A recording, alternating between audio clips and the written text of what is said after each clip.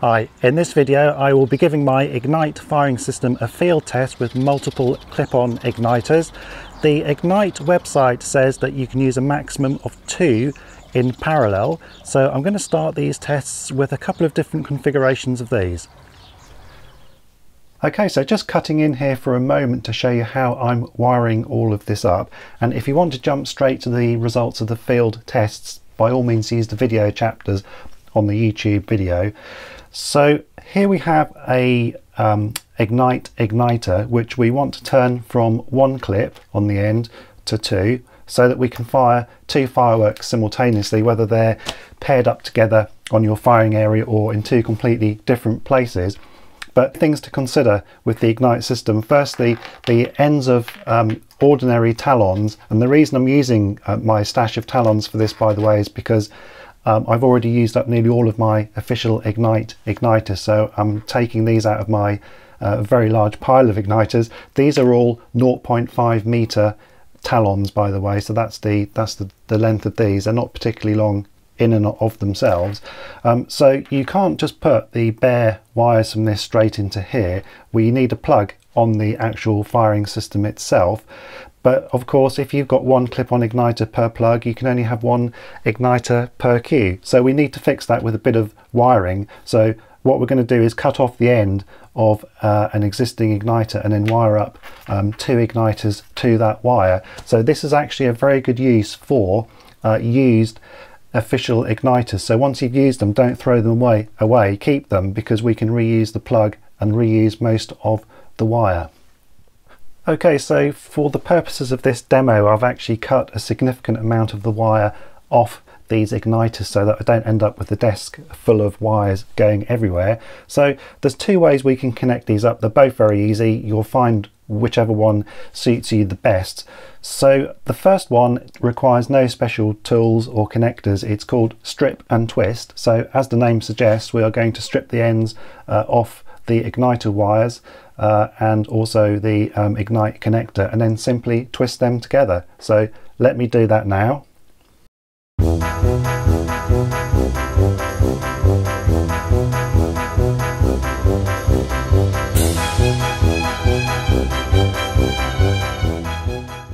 Okay, so we stripped the ends off all of our leads and now we need to twist them together. An important point with uh, clip-on igniters is they must be twisted together in parallel and not in series. This means that rather than daisy chain these together in a line and then come back to the output from the firing system, each igniter has to have its own independent connection to the output so that when the circuit breaks on each of these when it ignites your fuse the only circuit it's breaking is its own uh, its own coil and it won't affect the others that are also wired up to that output. So let's do that now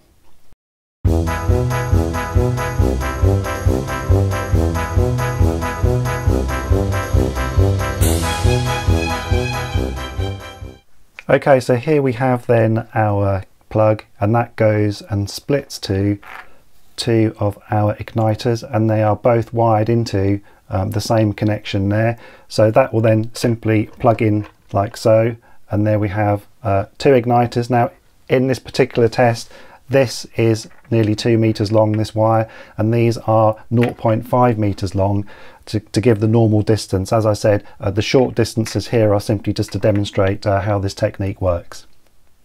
Now, personally, I find stripping and twisting fine for extending single igniter cables, but I find it incredibly fiddly uh, for doing more than one igniter onto each terminal as you probably saw in the video even though that was speeded up by a factor of 500 I was still faffing about for ages and it gets worse the more igniters that you try to add on. So personally I prefer to use a ready-made connector and for the purposes of this demonstration I'm using uh, a type of connector called WAGO. it's spelled W-A-G-O it's a German company that makes these.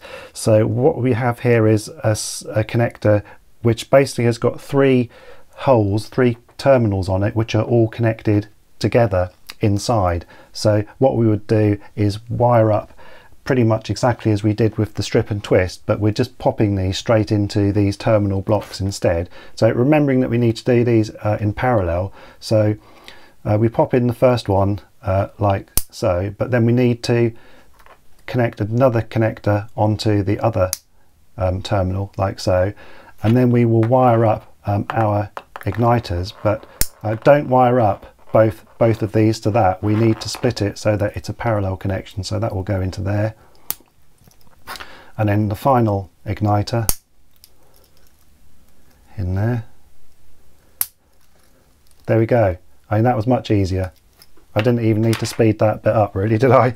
So again, pop that into any of your um, Ignite outputs and there you have your two igniters. Okay, so let's pop out uh, now to the garden and see how these two perform. And again, as I said before, this section is actually two meters long and this section is half a meter long. So we've got a total of two and a half meters.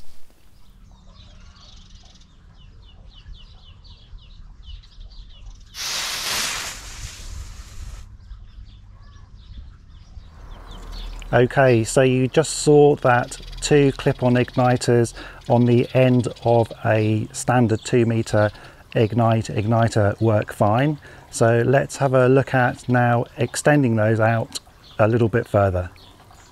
Next up we're firing a pair of igniters, however let's imagine our fireworks are in completely different parts of the firing side and we want to fire them together. For example a couple of Roman candles, one on either side of your display area. So what I'm doing in the next field test is we're connecting our igniters to a piece of bell wire to extend their length. We're doing that in both cases here. And then we are wiring in uh, these to the output from one of our terminals. So it's essentially the same test as the previous one. However, we are introducing an extra five meters of extended wire to see if they still work. So let me get that connected up now to show you how that will go.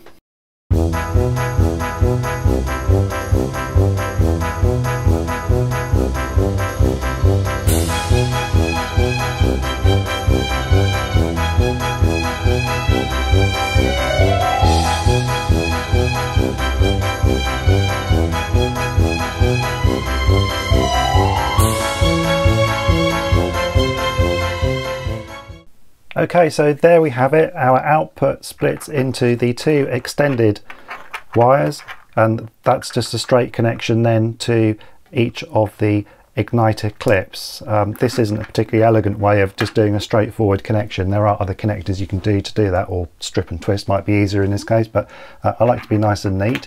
So let's see how these fare. Remember again this section will be two meters, these will be five meters each and then this will be half a meter.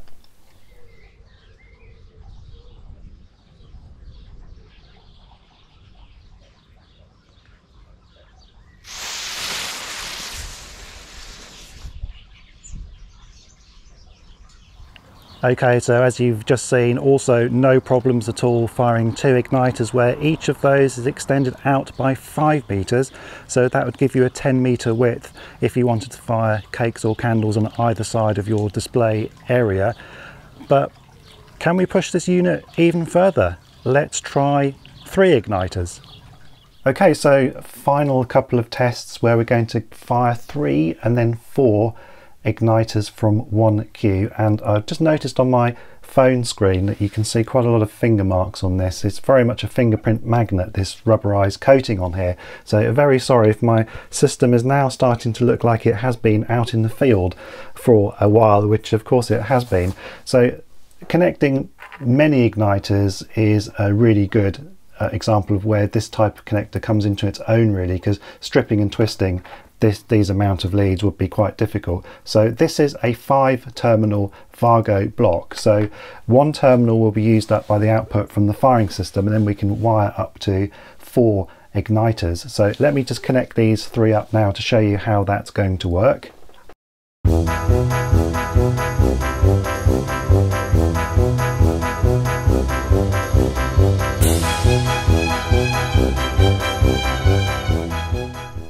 Okay, that's beginning to look uh, a little bit more messy purely because the leads are very short here.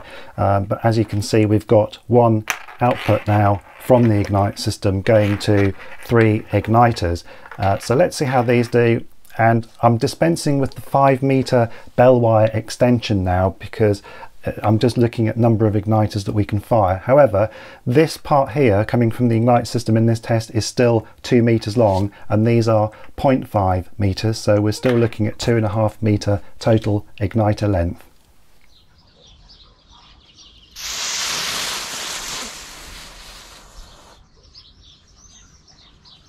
So as you saw there, three igniters, also no problem at all. So why stop there? Let's try four. Okay, and extending this now to four igniters, so it is literally just a case of the same setup again, but popping in one more igniter, like so.